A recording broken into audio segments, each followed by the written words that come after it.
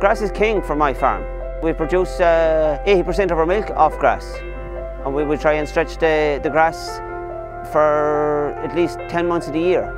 My name is Tim Mannion, I'm a dairy farmer here in Borough County Offaly. Uh, we run a dairy herd of 200 cows, uh, calving all year round and uh, milking on average 130 uh, every day of the year.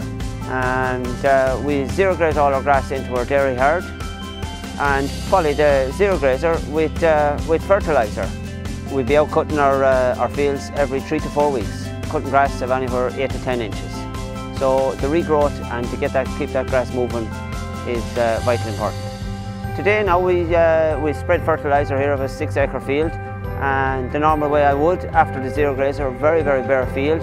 So very, very difficult to actually see where your tracks, whether you're going overlapping or missing the ground.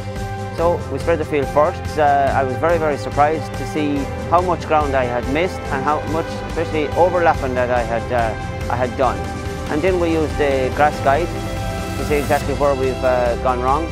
And we spread it the second time with the grass guide and uh, we got it perfect. The grass guide is uh, very user friendly, very, very simple uh, to set up in the tractor. It's set up in 10-15 minutes. By having the, the grass guide installed in the tractor, when we go out to spread fertiliser, I know that we will miss no grass. So every blade of grass is getting fertiliser. There's none being missed, there's no overlapping being done. We're getting full production out of every acre. I think after using it now today, I'm not inclined to let it move out of the cab of the tractor, I'm going to hold on to it. You know, you're going to make a huge saving on fertiliser, on waste of fertiliser. Really, the grass guide is like money in the bank.